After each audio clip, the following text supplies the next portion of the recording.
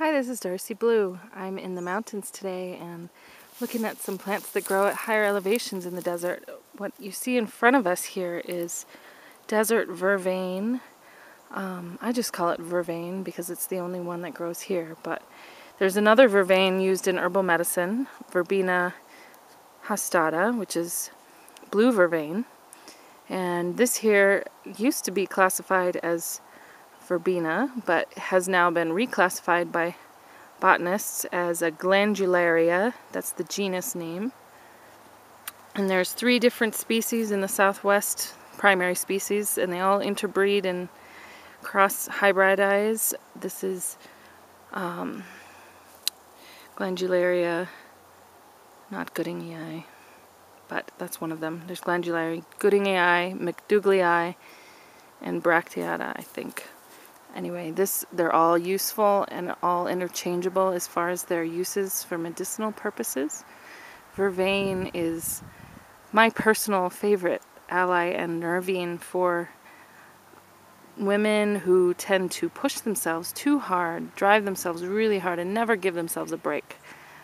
Type A personalities, they don't get enough sleep, they're stressed out all the time, they're tense, you can tell. They hold their shoulders really tense or they get tension headaches from holding the tension in their shoulder and neck. So vervain is fantastic for those women and men too who tend to get really cranky, irritable, and bitchy, so to speak, when they get overworked and overtired and stressed out. And vervain helps to take the edge off when you feel like biting somebody's head off. Um, this is great for PMS, grumpiness, um, stressed out, grumpiness, anxiety,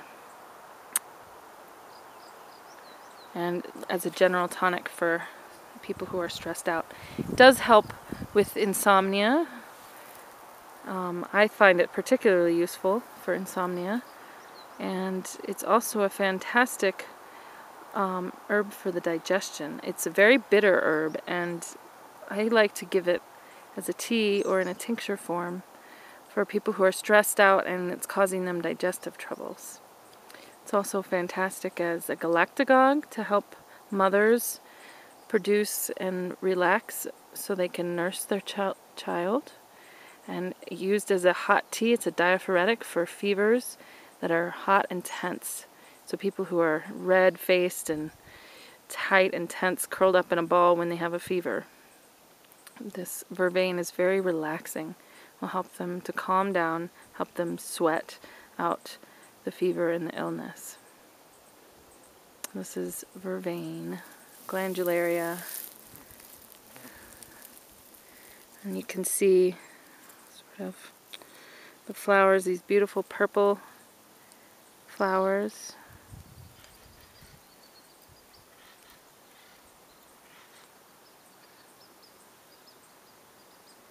Opposite leaves.